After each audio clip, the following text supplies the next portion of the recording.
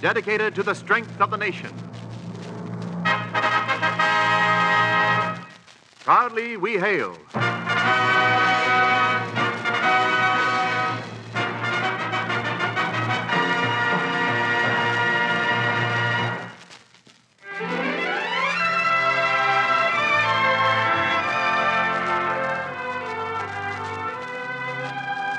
Yes, proudly we hail, starring Barry Fitzgerald in The Luck of Killarney, a United States Army and United States Air Force presentation.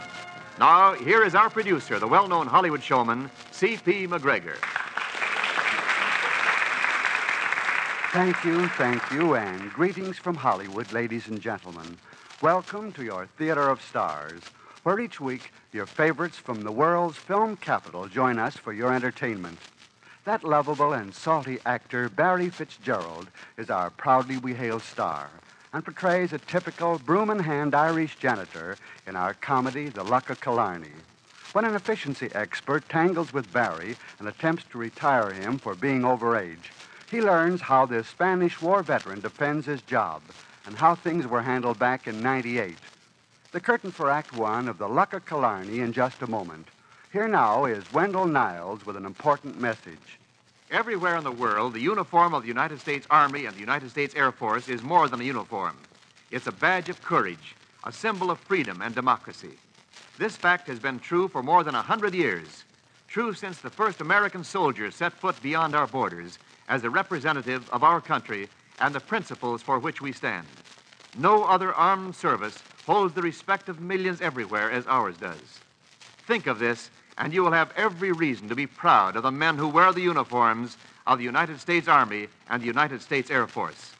Now, back at the microphone, our producer. The curtain rises on Act One of The Luck of Killarney, starring Barry Fitzgerald as Tom O'Reilly.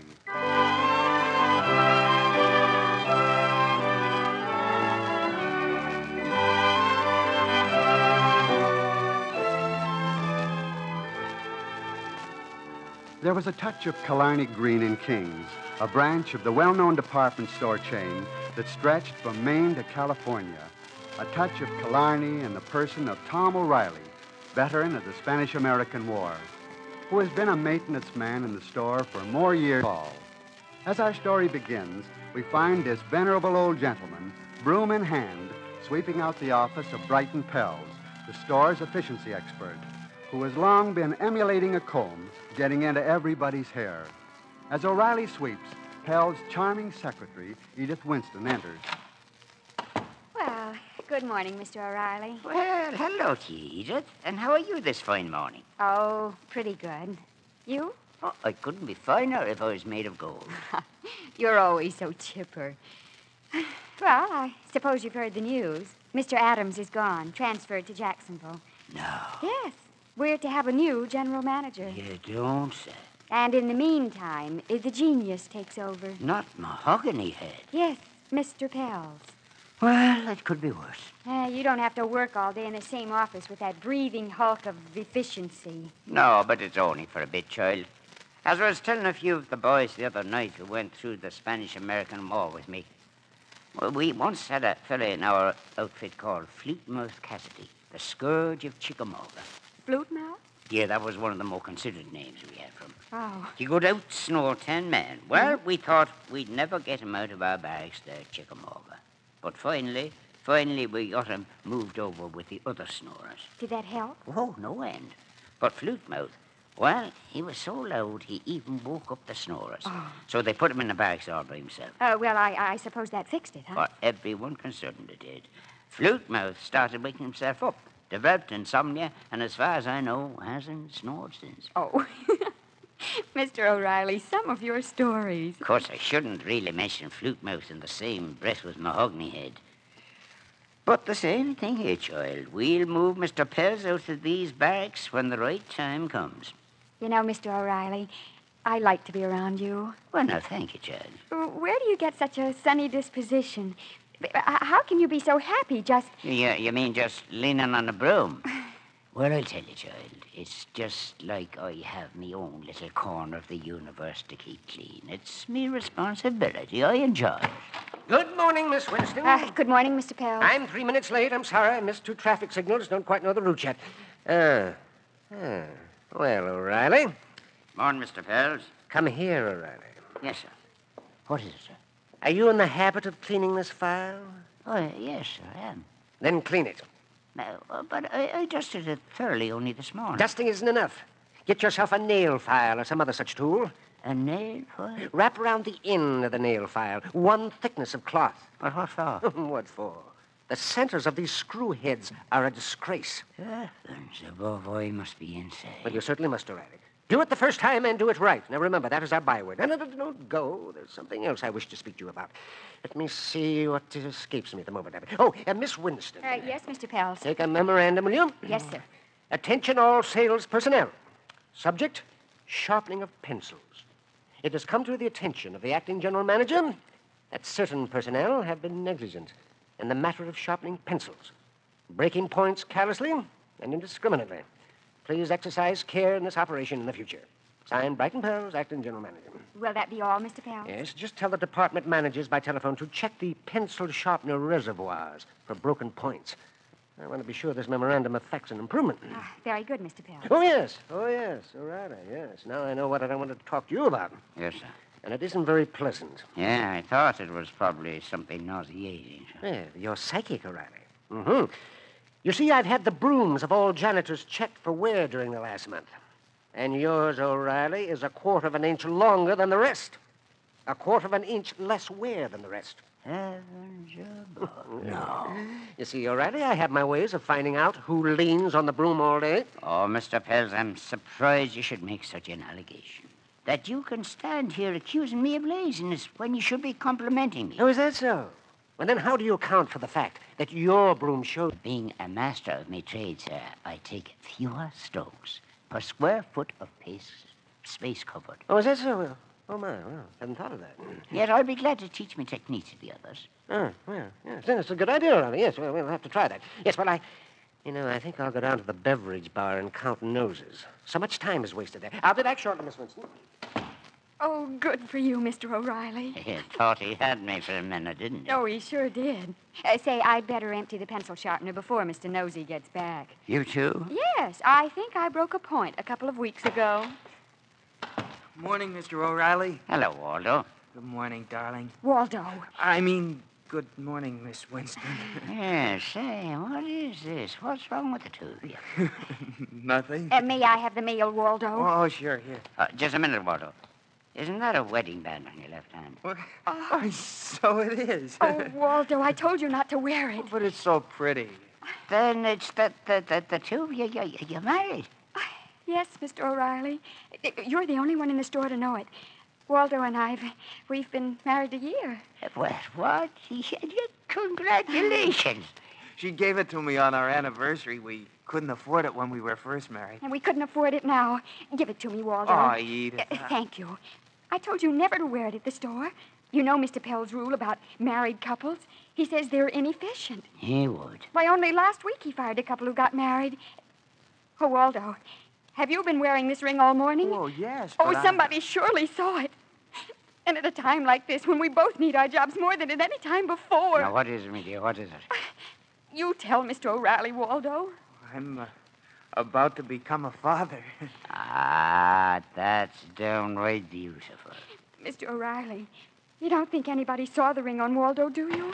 Well, Waldo, Oh, yes, Mr. Pels. I find you here. Yes, you find me here. What's wrong with you, Waldo? Are you married, Married? to this room? They're looking for their mail in accounting. Oh, how nice of accounting. I'll get it right down to them. Come back, Waldo. What's that? You've dropped the paperclip.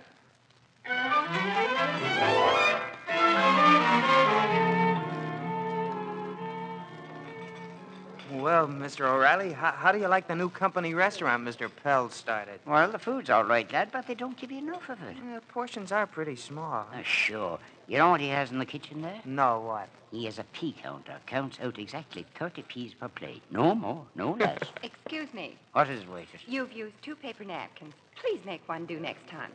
Yes, miss. Paper is still one of our scarcest commodities, you know. Come on, Waldo. I can't stand it another minute. That Pell's making a sweet little girl prattle that sort of thing to you when you're trying to fill your stomach. Oh, I sure hope nobody saw that ring and told him about it. I I was crazy to wear it, I guess, at a time like this. So you're going to be a father, huh? I am, and believe me, I'm plenty nervous. Oh, there's no reason, lad, why fathers have been having children clear down through the ages. Well, not my child, they haven't. Well, regardless of me, boy, you've many great things to look forward to. Oh, and one in particular. Oh, what's that, Mr. O'Reilly? The day you bring your boy home his first electric train. Electric train. wow, I had a swell one. Signals, automatic switches. Boy, uh, oh, what if we have a girl? Well, you still have an excuse. You buy the train for the boy that's coming next time. Oh, gee, thanks. I, I I like the way you figure, Mr. O'Reilly. I just hope everything works out all right and nobody reports that ring to Mr. Pell's. Edith gets very tough with me sometimes. Oh, does she throw things at you? Yes, and just her wind up is something fierce. Well, don't worry, lad. I feel it in me bones. Everything is going to be fine.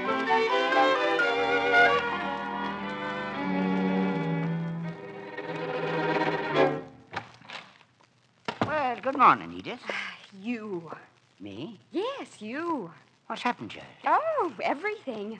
Mr. Pells knows all about Waldo and me being married. He's gone down now to get Waldo. Yeah, but I didn't tell anyone. Did somebody spot the ring that day? Oh, no, no, no. Oh, yeah, but then how? how Uh, how? You had to talk to Waldo about electric trains, that's how. Yeah, but this makes no sense, child. Oh, yes, it does. You light the fire, so Waldo has to go down and buy one. They don't sell trains here, but Waldo finds out where they do. He has to go out and buy an electric train for the baby I'm not even going to have for five months. Yeah, but how did Mr. Pels find out? Waldo couldn't pay cash for the train, had to buy it on time. So the droop fills out a questionnaire. Uh, His name, name of his wife, where he works. He fills it all out, never dreaming they'd call over here to check up. that's Waldo. Well, they do call. I'm not in the office. Mr. Pell talks to them. Now, say no more, me dear. This is calamitous. Mr. Pell's just now stormed out to get Waldo, shouting infamy, perfidy, and two other words I, I didn't even understand. Well, Mr. O'Reilly, what are you going to do about it? What am I going to do? Yes, you got us into this, you did. Yeah, I suppose I did. Well, I'll get you out, me dear. Now, ah. don't you worry. Didn't I save the boys from the scourge of Chickamauga, Flute Mouth Cassidy? Well, you said you did anyway. Oh, if I only had me colonel to talk to now.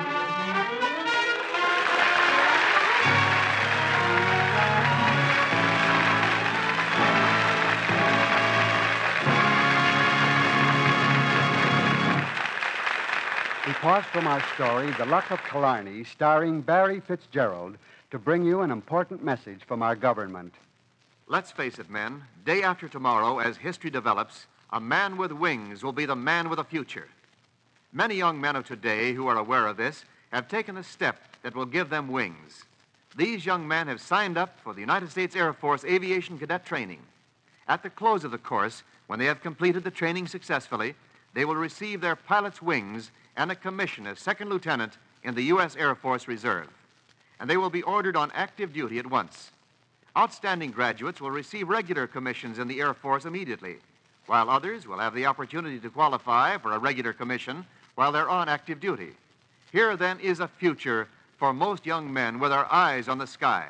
The requirements are that you be between the ages of 20 and 26 and one half, that you are single with two years of college or the equivalent, that you are physically fit.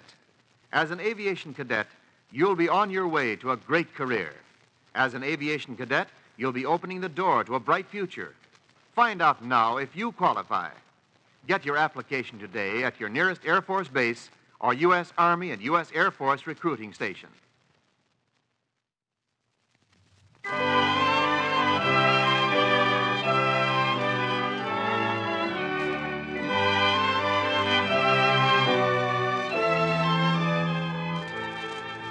The curtain rises on Act Two of The Luck of Killarney, starring Barry Fitzgerald as Tom O'Reilly.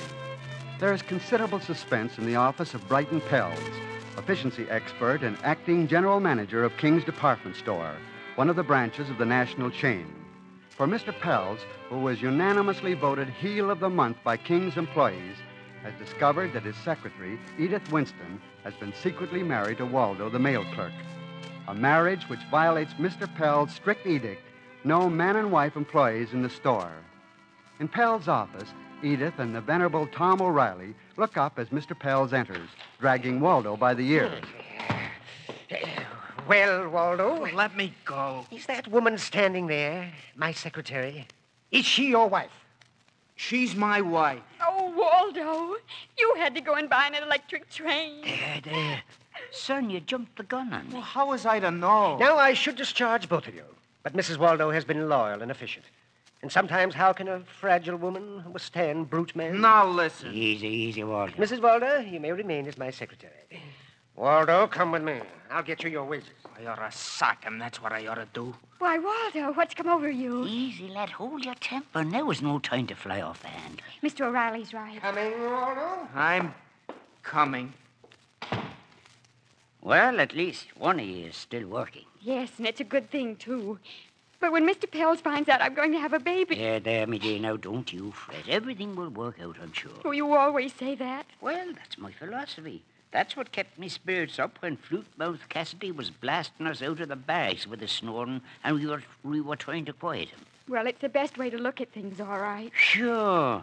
Oh, but it'll give me great pleasure, like Waldo, to punch him on the nose just once. But sometimes it's better to retreat with valor than to advance when you know you can't win. I'll check with you tomorrow, Edith.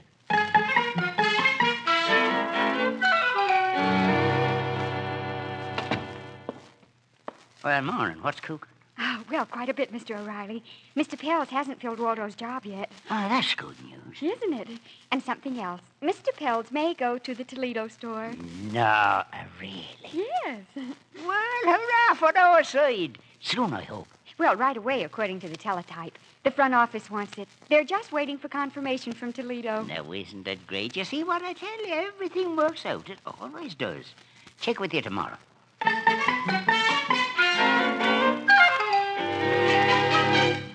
Has he left yet? No, and he isn't going. He isn't. Toledo won't have him. Oh, I don't blame them a bit. Well, then. And what's more, he's interviewing men for Waldo's job. Oh, dear me, isn't there a speck of good news? Well, our new manager's coming. His name is Mr. Olson. Olson, really? Well, maybe he's a square shooter. If so, he'll sure see it our way. Well, that's something to hope for. Well, see you in the morning.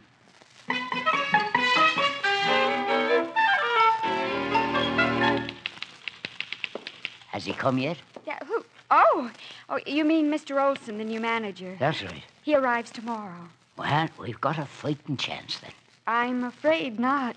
Mr. Pells is delighted. He says he and Mr. Olson have worked together before, Oh, me. and they'll surely have Waldo's job filled in a day or so. Has Waldo tried elsewhere to line up something? Yes, but you know how things have tightened up, and you know Waldo. Yes, I know Waldo. Well, it's all but only a challenge to us. But it's almost more than I can bear. He's after you now, Mr. O'Reilly. Me? He says he's going to weed out all the old timers. Old time? He can never put me in that category. But he said he didn't like the way you spoke the day he fired Waldo. He had me look up your folder to get your age. Me age? Uh huh. Mr. Pells is inaugurating a new plan, retiring everyone at 65. Well, let me tell you, he was furious when there wasn't even an application blank on you. When I was hired, there wasn't even a store, hardly. Well, anyway, he's heard you talk about the Spanish American War. He says if you served in the Spanish American War, you'd almost have to be over 65. Uh-uh. Maybe you better tip off your buddies uh, to keep mum, huh? Yeah, I'll do that by all means. Better be prepared for Mr. Pells. He's really gunning for you.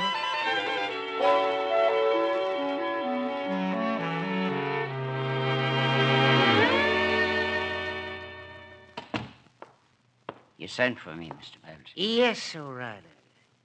Back in the dark ages, when you were first hired by this company, they didn't keep complete records. I wonder if you'd give me the date of your birth? Yeah, me, uh, uh, me birthday. That's right. Well, no, I don't rightly recall. Oh, come now, O'Reilly. Yeah, but I don't. I- Surely you must remember. Yeah, but I don't. Uh, and you're being unfair to ask it. Oh, I am. Now, you're asking a man to remember something that happened back before the Dark Ages. Now, now, O'Reilly, I'll stand for no flippancy. However, if you want to know how old I am, really, Mr. Pells. Yes, well, that's better. Well, a man is as old as he feels, and I feel about 27. Uh, Now, listen, O'Reilly. Tell me this. Are you or are you not a veteran of the Spanish American War? That question sounds entirely irrelevant. Oh, it does. Well, then listen. I call for the roster of veterans of the Spanish American War, and they won't send it. The privilege, I'm sure. Did you have anything to do with it? I, I don't understand you. Now, you listen to me, O'Reilly. With my own ears, I've heard you talk about the barracks at Chickamauga, of embarking at Tampa for Cuba. Mr. Pells, amongst my many past accomplishments, I was once a writer of fiction. The habit sometimes takes over me speech. Oh, O'Reilly, you bother me. Oh, excuse me, sir, but there's a man here who insists on seeing Mr. O'Reilly. Well, upon me word, I up and found you, I did. Tommy O'Reilly, you son of a gun. Sure, I'm glad to see you. Well, as I live and breathe, it's Flute Mouth Cassidy. And did I have trouble finding you? Why, the boys here wouldn't tell me a thing. The boy? Why, you got 'em all buffaloed, like you used to have 'em at Chickamauga. Did you say Chickamauga? Flute, flute, flute, flute, if you please, please. If I please what? Don't these people know you won the war in 98 single-handed? You always used to say who did. Oh, dear. Flute Mouth, if the boys here in town wouldn't tell you where I am, how did you find me? Why, uh, the national roster's got you listed, Tom. I always carry one when I hit to do a play. Helps out looking up the boys. Flute Mouth, you was a pain in me neck 50 years ago, and you haven't changed a bit since. Take him out, Edith. I want to speak to Mr. Pells alone. Come Uh, along, well, Mr. well, Tom, I didn't mean to be butting in on anything, of course. Well, O'Reilly, then you did serve a hitch in the army. Yeah, Mr. Pells, and I've often wished I served a dozen more. Mr. Pells, you can't blame me for me defending my job. I cannot countenance prevarication in any form. Oh, I didn't prevaricate, Mr. Pells. I merely evaded the question. One is as bad as the other. You can be assured I'll rush your retirement papers through. I know, please, Mr. In point years, I'm an old man, I know, but I'm sufficient for my job. Statistics prove, O'Reilly, 65 is the optimum retirement age. and you are well over that. Yeah, yes, I am. But, Mr. Pells, listen to me. Never before in my life have I begged a man for anything, but I'm begging you to give me my job. It's really what keeps an old man going. And I'm sorry. I'm sorry, O'Reilly. It's always difficult to turn a fire horse out to pasture, but uh, we'll make it as painless as possible. I think I can have you ready to leave by tomorrow night. Very well. I have no more arguments in me. Well, Tomorrow's my last day, Edith. oh, Mr. O'Reilly, I'm so sorry. Where's Flutemouth? He's waiting down the hall. Oh, I can't wait till Levy get me hands on him. Well, I'll see you in the morning.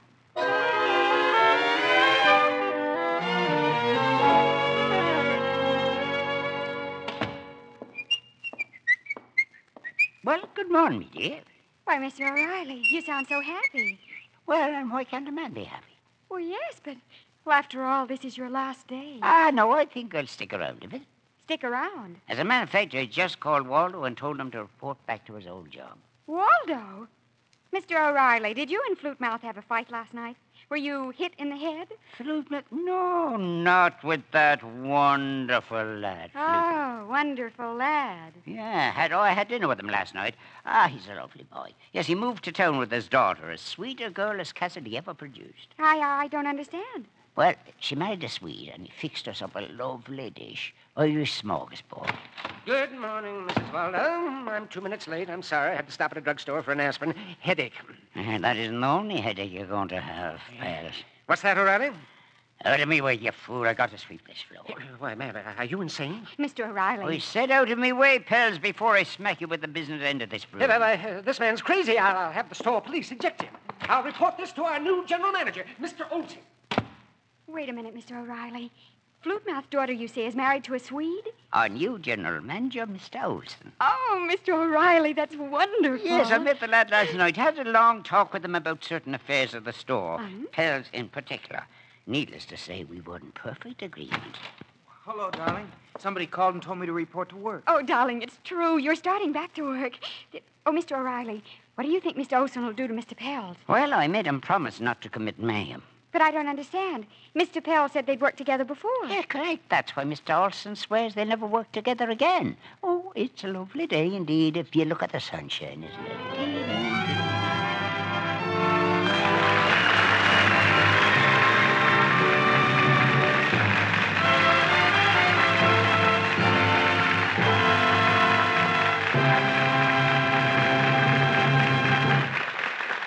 Curtain falls on the final act of The Luck of the Killarney.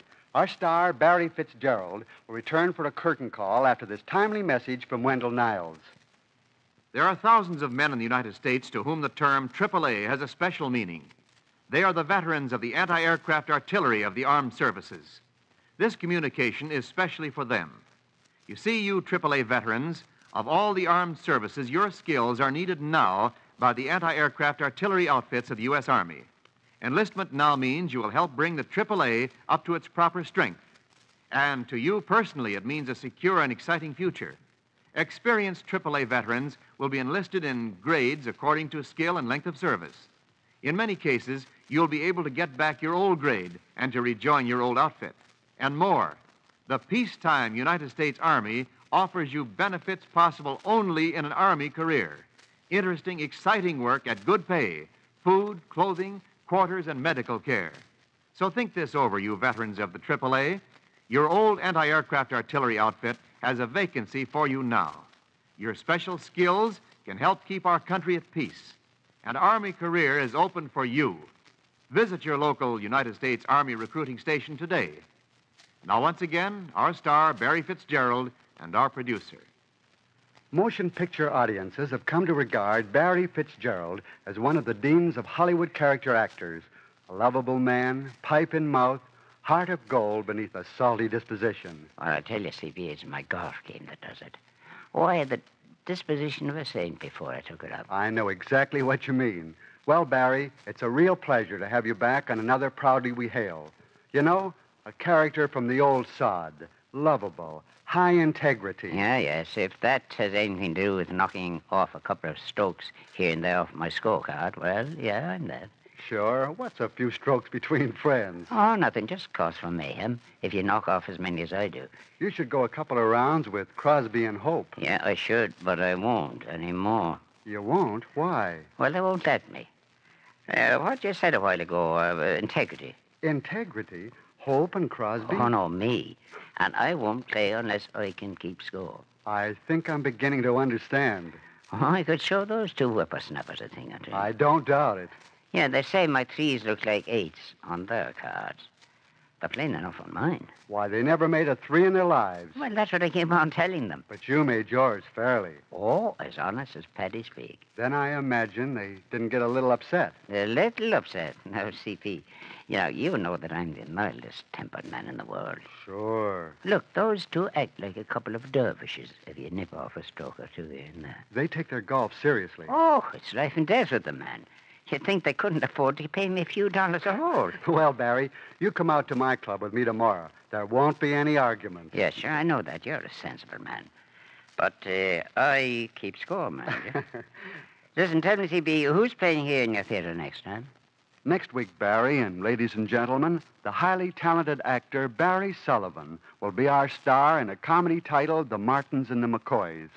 It is a bright story of the New York theater and the elements that comprise that world of entertainment, their feuds and their jealousies. Sure, and I'll be listening. Goodbye, CP. Goodbye, Barry Fitzgerald. Be sure to join us next week, ladies and gentlemen, when we bring you Barry Sullivan in The Martins and the McCoys. Until then, this is C.P. MacGregor saying thanks for listening and cheerio from Hollywood.